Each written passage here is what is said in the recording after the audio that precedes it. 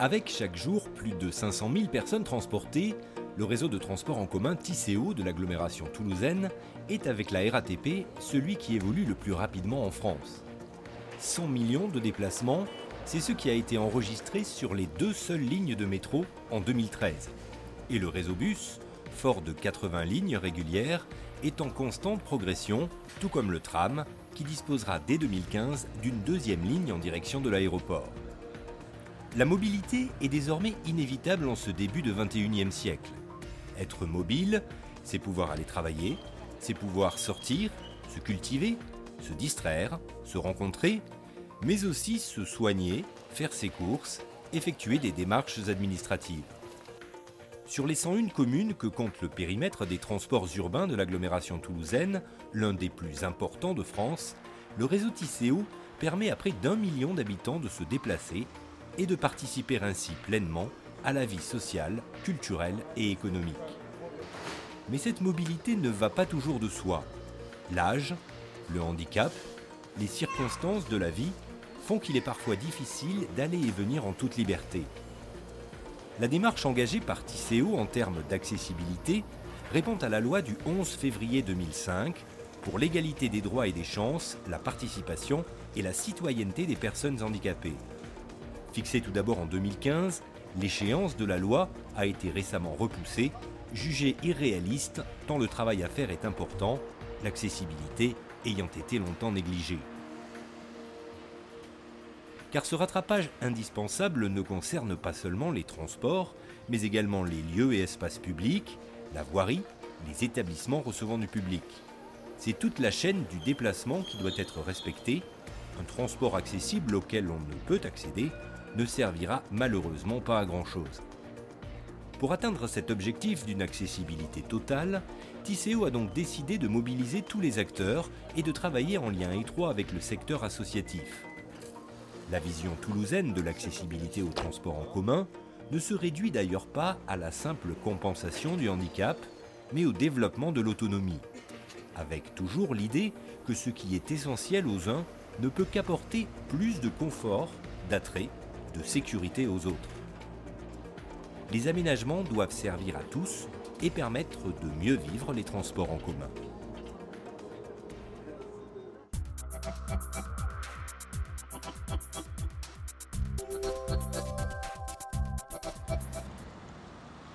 Le réseau de l'agglomération toulousaine Tisséo a encore bien sûr des progrès à faire en termes d'accessibilité, mais de nombreuses mesures ont déjà été prises, et ce, avant même la loi de 2005. Ainsi, la ligne A de métro, mise en exploitation en 1993, a été la première ligne totalement accessible de France. Toutes les stations ont été dès l'origine équipées d'ascenseurs, avec des instructions en braille, ainsi que d'escalators dès que les différences de niveau dépassaient 4 mètres. Des portillons pour les personnes à mobilité réduite permettent depuis plus de 20 ans à un public beaucoup plus large que les seules personnes handicapées d'avoir accès au quai. Des sièges d'attente font également partie du mobilier de station auquel sont habitués les usagers du métro, bien que les fréquences de passage des rames soient importantes, moins de 2 minutes en heure de pointe.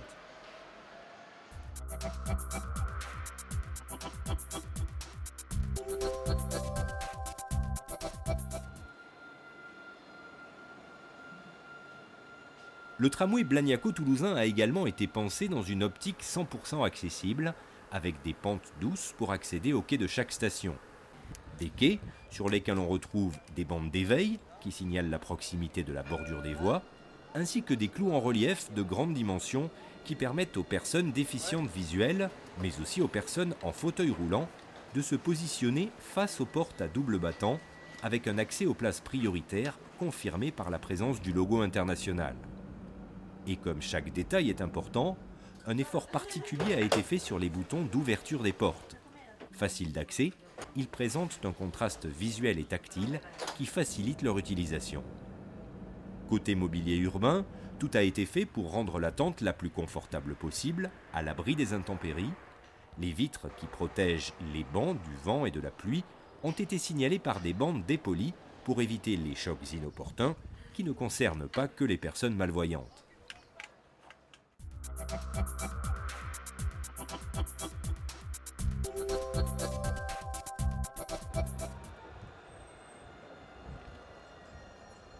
À ces équipements adaptés de base, Tisséo a progressivement intégré un grand nombre d'améliorations. En 2009, 100 actions concrètes ont été programmées dans le cadre du schéma directeur d'accessibilité.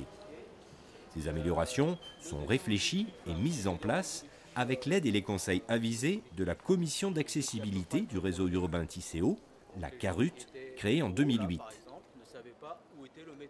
Les différentes associations la composant apportent un regard expert sur les solutions techniques envisagées. Ainsi, un effort important a été fait en direction de l'information voyageur. Même si dès la mise en service, un certain nombre d'équipements existaient, tels les indications de prochain passage des rames en station, le signal de fermeture des portes et les messages à l'intérieur de la rame, visuels et sonores. Grâce aux remarques de la Carut, des améliorations à ces systèmes ont encore élevé le niveau d'accessibilité. Le signal visuel et sonore de fermeture des portes des rames a été renforcé. Des boutons spécifiques ont aussi été ajoutés dans le tram, comme d'ailleurs dans les bus de nouvelle génération, afin que les personnes en situation de handicap puissent se signaler au conducteur, qui peut alors passer en mode manuel pour piloter l'ouverture et la fermeture des portes, en laissant plus de temps que d'ordinaire. Il est 13h37. L'ensemble des bornes d'information dynamique possède désormais la fonction sonore. Les personnes aveugles ou malvoyantes peuvent ainsi entendre les messages inscrits sur la borne à l'aide de la télécommande universelle qui sert également à activer les balises sonores des traversées piétonnes.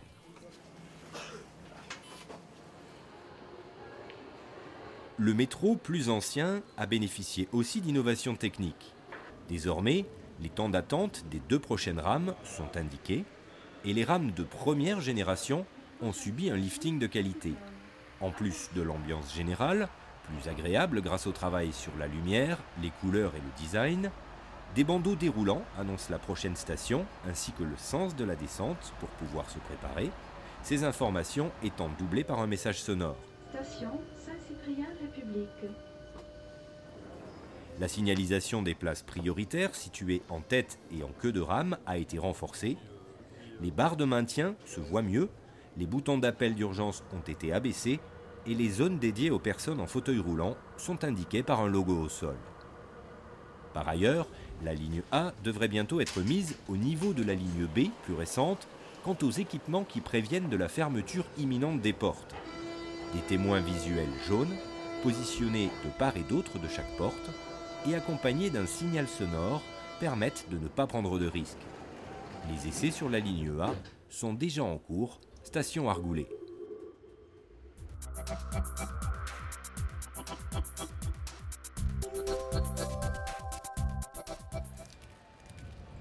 Mais si le transport en lui-même est primordial, les cheminements et l'accessibilité aux stations et aux quais doivent également faire l'objet de nombreuses adaptations.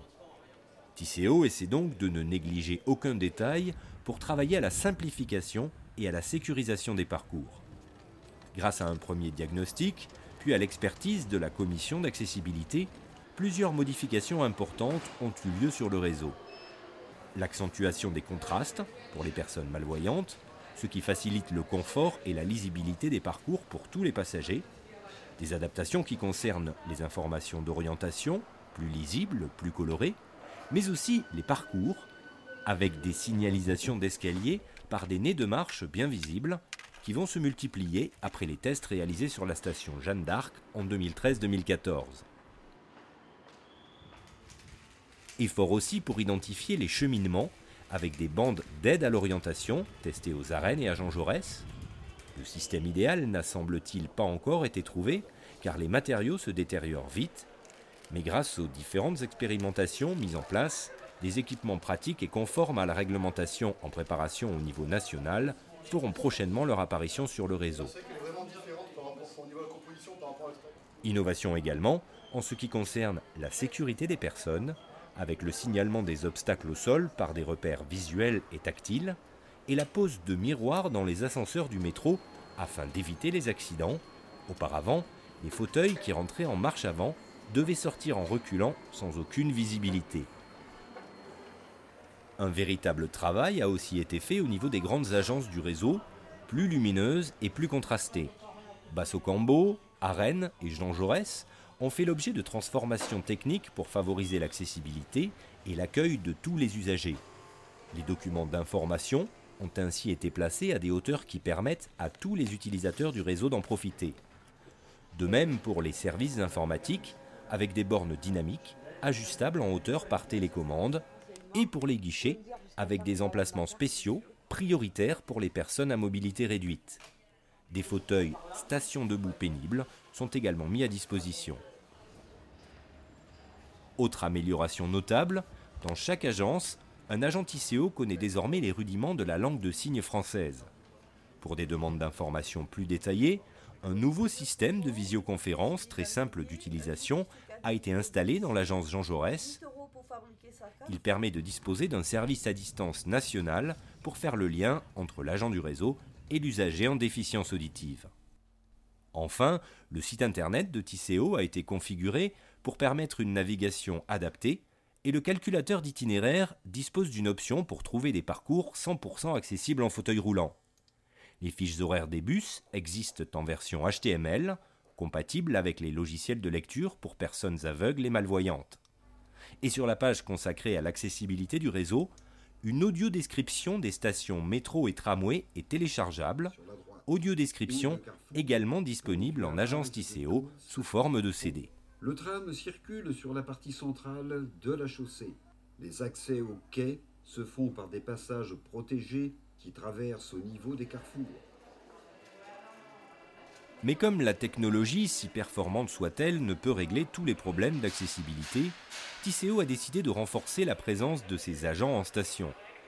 Depuis début 2014, des équipes répondent aux sollicitations de tout voyageur qui aurait besoin d'aide ou de conseils au niveau des principaux pôles d'échange du réseau.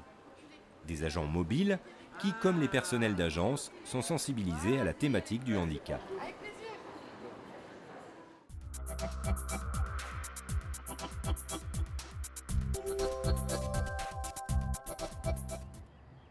Pour un réseau de transport en commun de la taille de Tisséo, qui dessert un très grand périmètre de 101 communes, rendre tous les véhicules et tous les arrêts accessibles n'est pas chose facile car à côté des deux lignes métro et de la ligne de tram, il existe une centaine de lignes de bus et plus de 3500 arrêts.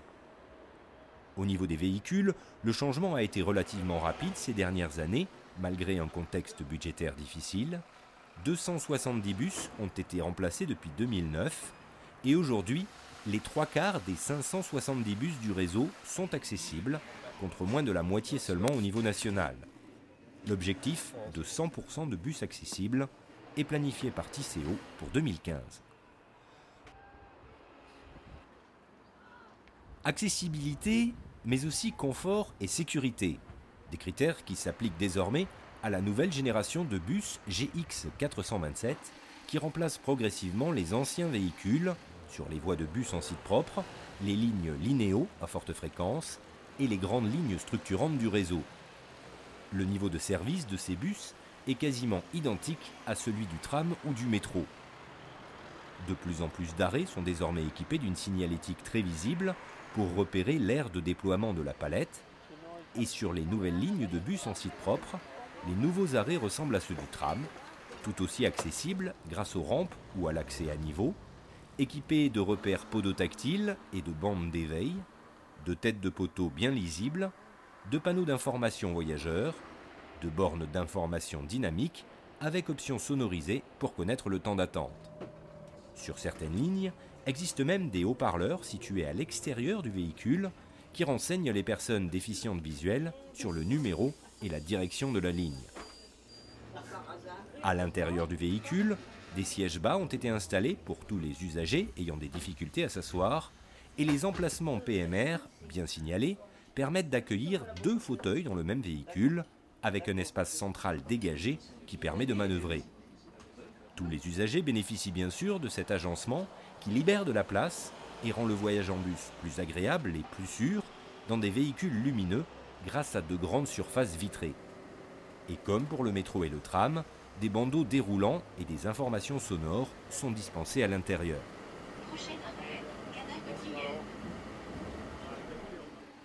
100% accessible, Ces lignes dédiées possèdent désormais, comme le tram, des boutons d'ouverture de porte, intérieure et extérieure, contrastés et à hauteur, et les mêmes ouvertures de porte latérales qui permettent des montées et des descentes plus pratiques. Évidemment, toutes les lignes en site propre qui isolent les véhicules de la circulation apportent un confort évident pour tous les passagers, à mobilité réduite ou non, le bus n'ayant pas à freiner et accélérer sans cesse du fait du trafic automobile. Bien sûr, malgré le travail important accompli depuis la mise en place du schéma directeur d'accessibilité, tous les problèmes ne sont pas réglés, notamment sur toutes les lignes de bus dites classiques et leurs 3500 arrêts, en milieu urbain, mais aussi en zone plus rurale. Une des difficultés est de rendre tous les véhicules du réseau adaptés. Un effort particulier a été fait dans ce sens, et la palette, qui était encore une curiosité il y a quelques années, s'est généralisée. Désormais, tout nouveau bus commandé par Tiseo en est équipé. Des systèmes qui sont prévus pour être débrayés à la main en cas de problème électrique. Les annonces visuelles et sonores, importantes pour savoir où l'on en est du trajet quand on a une déficience visuelle, se généralisent également sur les lignes à fréquentation plus modeste. Même le service de transport à la demande, qui dessert les communes les plus éloignées, compte désormais des véhicules adaptés, entièrement modulables, avec des conducteurs sensibilisés à l'accueil des usagers des transports handicapés. Ces véhicules sont injectés dans le réseau dès qu'une personne à mobilité réduite a fait une réservation par la centrale TAD, deux heures au moins avant le déplacement planifié. Cette possibilité de mobilité supplémentaire permet notamment à certains de pouvoir choisir un lieu de résidence en secteur périurbain plus éloigné des modes de transport lourds, sans être pénalisé au niveau des déplacements.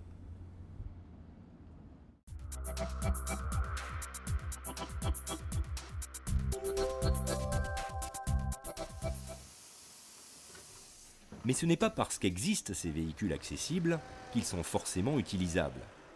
Il faut bien sûr que tous les arrêts soient eux-mêmes accessibles, ce qui est encore loin d'être le cas.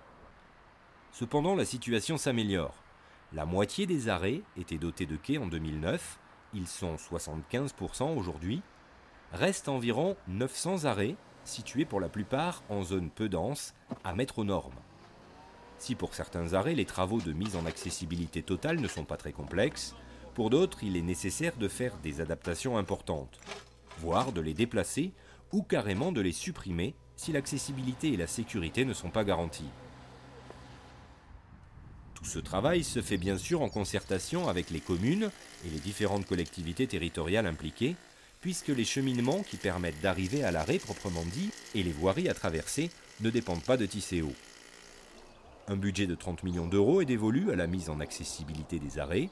Ce sont bien sûr en premier lieu les lignes desservant des établissements fréquentés par des personnes à mobilité réduite qui ont été prioritaires en matière d'aménagement, mais tous les arrêts seront progressivement adaptés dans le cadre des délais complémentaires accordés dans les agendas de programmation accessibilité.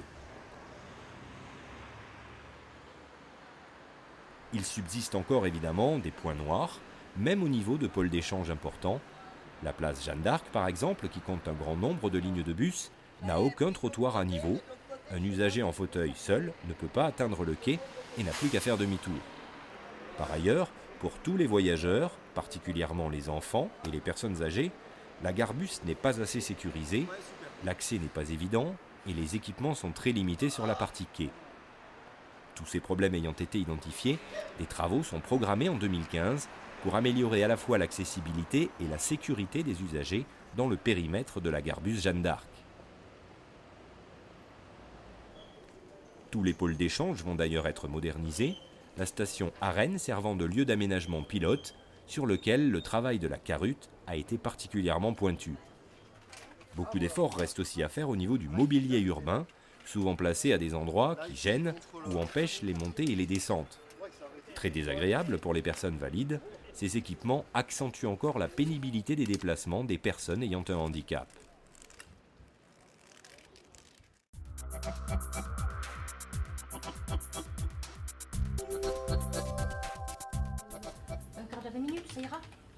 Enfin, pour les trajets trop compliqués à faire en transport en commun classique pour certaines personnes ou pour atteindre des lieux moins bien desservis, deux services fonctionnant sur réservation prennent le relais.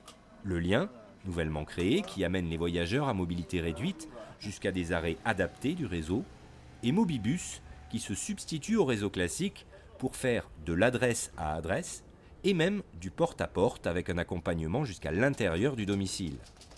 Réservé jusqu'en 2009 aux personnes présentant un handicap moteur ou visuel, ce service s'est élargi aux personnes âgées dépendantes et compte aujourd'hui près de 4000 abonnés.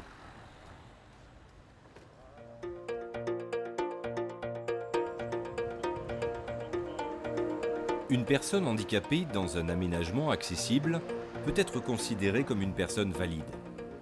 Et une personne valide se retrouvant dans un environnement non accessible, sans information claire, peut se retrouver dans une situation inconfortable.